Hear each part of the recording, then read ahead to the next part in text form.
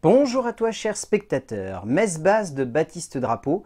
Euh, c'est un film que j'ai découvert très tardivement, mais qui semblait très intéressant parce que son pitch et sa forme, en tout cas de ce qu'on voyait dans la bande-annonce, résonnaient comme un vague souvenir lointain d'un metteur en scène anglais qui aimait bien jouer avec tantôt du fantastique, tantôt du drame, tantôt du thriller, tantôt du film d'épouvante, mais qui était passé maître dans l'art du suspense. Et le film semblait vouloir être dans la même veine que ce grand metteur en scène. Le résumé pour faire simple, Julie est une jeune étudiante en école d'apprentissage pour l'aide aux personnes âgées qui a décidé, pour économiser de l'argent, de sous-louer une chambre. C'est chez Elisabeth, une veuve qui n'a jamais su faire son deuil, qu'elle atterrit. Et à aucun moment, Baptiste Drapeau ne se cache d'avoir pour référence le grand Alfred Hitchcock.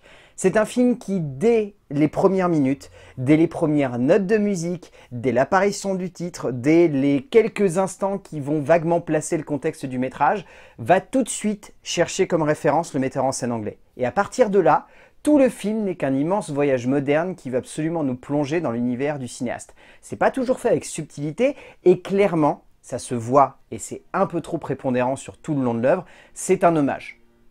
Et c'est un peu le souci c'est que ça va pas plus loin. C'est vraiment un bel hommage, il est très bien fait, il a une très belle forme. Dans son genre, c'est vraiment une petite anomalie parce que c'est un film de genre français mais qui détonne par son contexte, par sa composition, qui a tendance à plus aller chercher du côté du drame avec des accents de thriller et un petit peu de fantastique, plutôt que vraiment vers le film d'épouvante ou d'horreur. C'est ça la grande qualité du film de Drapeau, mais clairement à côté, ça laisse un peu trop l'impression qu'il veut être le fils spirituel d'Alfred Hitchcock. Et du coup, il donne pas grand chose de plus comme forme à l'œuvre, ce qui peut un peu laisser de marbre. Mais moi, j'ai trouvé ça très prenant. Pas toujours parfait, mais prenant. Le cinéma de genre français cherche souvent à expérimenter, à citer forcément des grandes références du cinéma, mais la plupart du temps en ayant pour ambition derrière de les transcender et d'aller beaucoup plus loin que simplement rendre un hommage plus ou moins vibrant au grand nom du genre. Baptiste Drapeau a cherché lui à rendre un profond hommage à un cinéma qui l'a fortement influencé en allant chercher du Hitchcock à toutes les sauces pour une œuvre résonnant comme un magnifique hommage à son cinéma, mais n'allant pas forcément beaucoup plus loin malheureusement, pour nous, pour une œuvre sonnant comme une belle promesse, mais pas grand chose de plus. En termes d'écriture, donc le scénario de base est écrit par Baptiste Drapeau, qui a ensuite été aidé par Olivier Briand ainsi que Maurizio Carrasco. Euh, le scénario a une forme qui se veut très classique dans son genre. Ce qui fonctionne bien, c'est que dans le côté vraiment pur hommage à Alfred Hitchcock, la manière avec laquelle le contexte est placé, l'évolution de personnage est amenée, euh, les retournements sont situés au fur et à mesure que euh, la situation avance, tout ça, ça fait vraiment penser à beaucoup de films d'Alfred Hitchcock. Dans le sens où il aimait beaucoup faire en sorte que nous, spectateurs, nous attachions fortement au personnage principal, qu'ensuite nous nous laissions un petit peu transporter par son quotidien, et qu'après seulement, la partie soit thriller, soit drame, soit épouvante, prenne place et que ça soit là qu'on soit vraiment accroché. Et eh bien, en termes d'écriture, on est clairement là-dedans. C'est-à-dire que le personnage principal va arriver, va se placer, on va découvrir ses études, on va comprendre quel type de personne elle est, on va comprendre l'attachement qu'elle va avoir par rapport aux autres, qu'est-ce qu'elle recherche finalement comme émotion auprès de ses proches, et à partir de là, on va comprendre qu'il y a quelque chose qui va venir interférer par rapport à tout ça, et qui va la pousser dans un retranchement. Et c'est cette partie-là qui est vraiment intéressante. Le seul problème, et alors clairement ça se sent dès les premières minutes, c'est qu'on peut très facilement deviner quel va être le parcours de ce personnage principal. Et j'ai beau la trouver très attachante, j'ai pas pu m'empêcher de deviner quasi à chaque scène quel va être son mouvement qui va amener tel retournement et qui va faire en sorte que euh, on va la voir grandir ou, ou finalement se poser des questions par rapport à son intimité, par rapport à ce qu'elle recherche chez un autre, par rapport à de l'amour aussi. Le film est assez vaste là-dessus.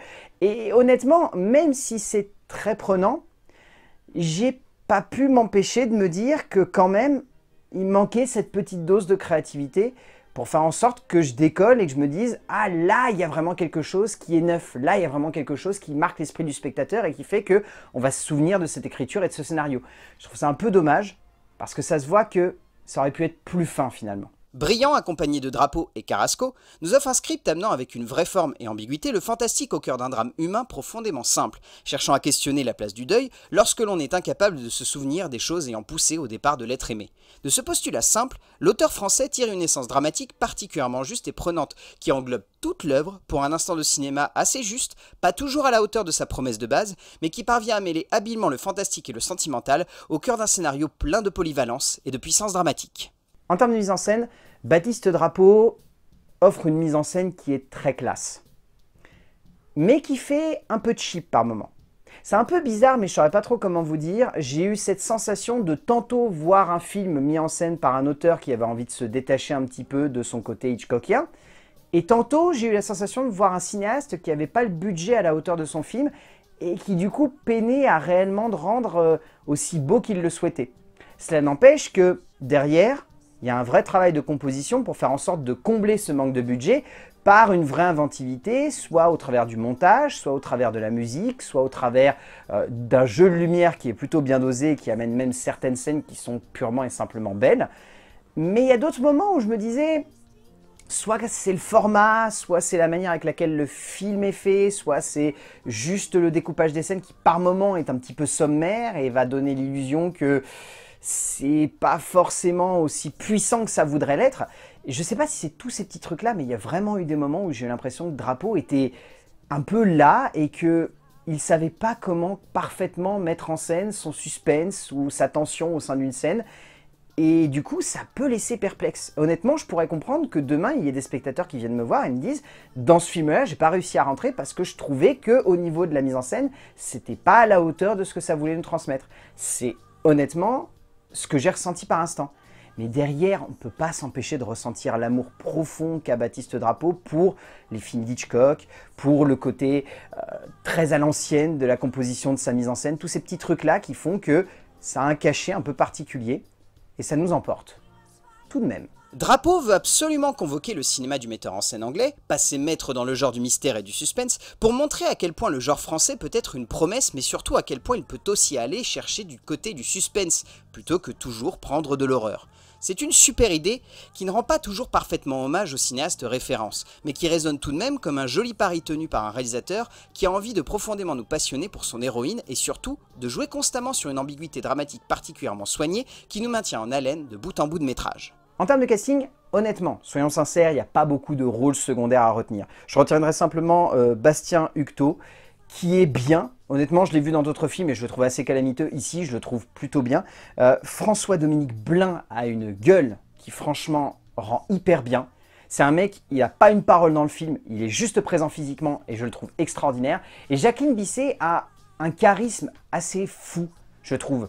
On la voit pas souvent aujourd'hui au cinéma ou alors dans des tout petits rôles secondaires, alors que cette femme, elle a vraiment une présence à l'écran.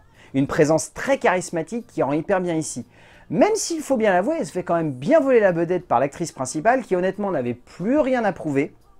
Mais elle démontre encore une fois que c'est une actrice très talentueuse qu'on ne met pas assez sur le devant de la scène alors que clairement elle est plus que douée. Alice Isaz n'avait plus à prouver à quel point elle est talentueuse, mais clairement, au cœur de ce métrage, elle emporte tout au travers d'une interprétation soignée et assez jubilatoire même par instant.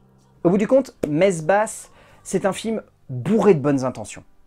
Et réellement, je salue le geste. Parce que faire un hommage à Alfred Hitchcock en 2021, au cœur d'un cinéma de genre français qui a plus tendance à aller chercher des références qui viennent des années 80-90, je trouve ça culotté. Le geste n'est pas parfait parce que clairement on est trop dans un hommage et pas assez dans un film à part entière. Ça peut décevoir, ça peut laisser de marbre, ça peut par instant donner l'impression que le film n'est qu'un prétexte à une mise en scène très classe ou alors à une écriture euh, très homagieuse mais qu'il n'y a rien d'autre derrière. Je trouve pas. Moi je trouve que c'est un film qui reste intéressant, parfois un peu balisé et cliché, mais tout de même, messe basse de Baptiste Drapeau, on se laisse embarquer de bout en bout et on trouve le film tout de même satisfaisant. Donc si vous avez l'occasion de le voir, allez-y. A plus